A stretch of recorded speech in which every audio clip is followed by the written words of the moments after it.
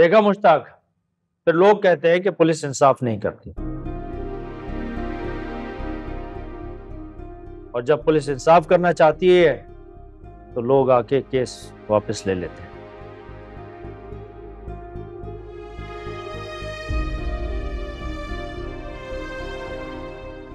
और तुम, एक बात कान खोल के सुन लो।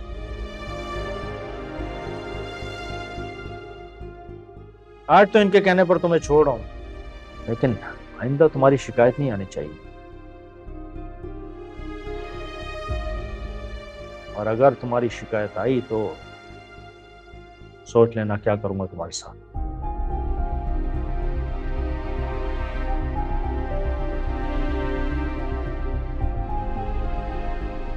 ले जाएँ जी से थैंक यू सर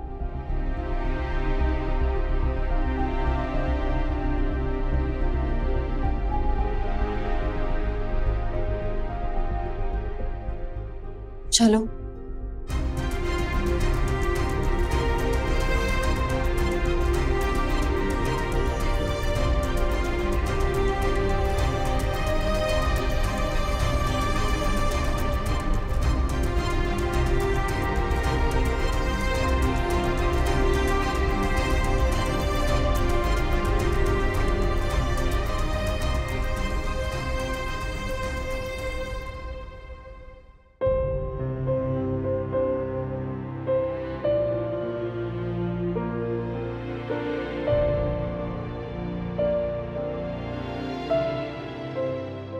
सर ना तो मिस निम्रा ठीक है और ना ही उनके घर के हालात।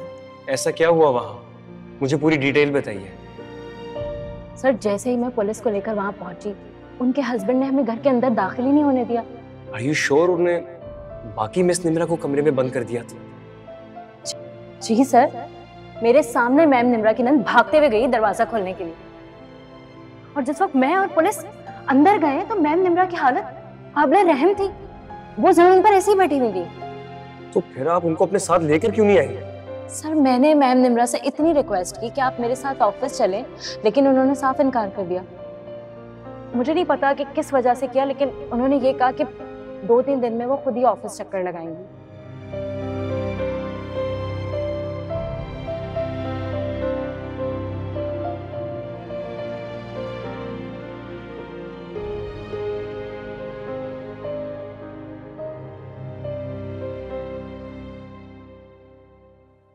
तुम सबके बीच में से उठ के यहाँ क्यों आ गए? सब ठीक है ना?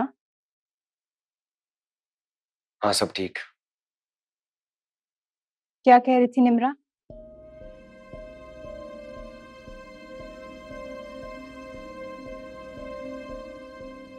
जब उसकी कॉल आ रही थी मैंने देख लिया था। तुम्हारे चेहरे से पता चल रहा था कि सब खैरियत नहीं है। हाँ खैरियत नहीं है।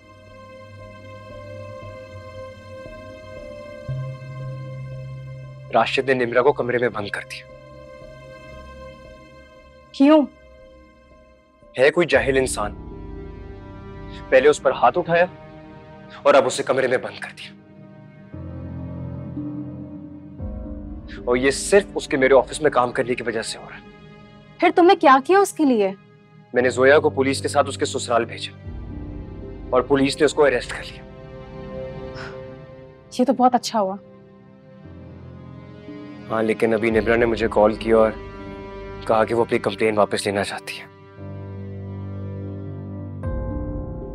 मैंने उसे समझाने की बहुत कोशिश की मगर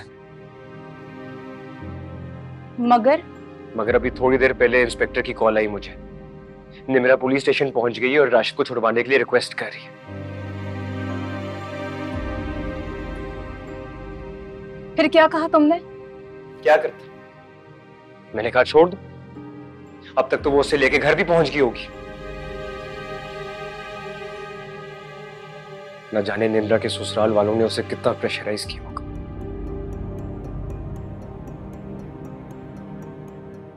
कि उसने अपने साथ होने वाले जुल्म की भी परवाह न की और राशिद को छुड़वाने पुलिस स्टेशन चली गई। ठीक कह रहे हो। उसे यकीनन किसी ने प्रेशराइज किया होगा।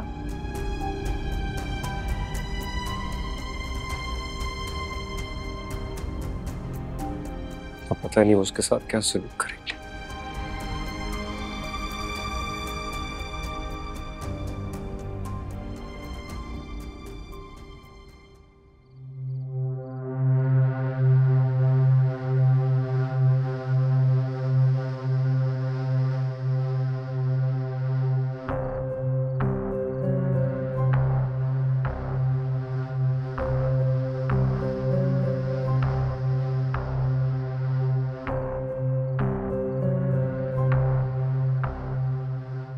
पहले खुद ही पुलिस को बुलवा कर मुझे पकड़वाती है।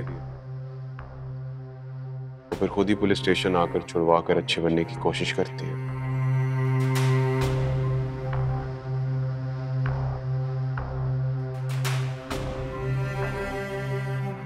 मैं इसे कभी माफ़ नहीं करूँगा।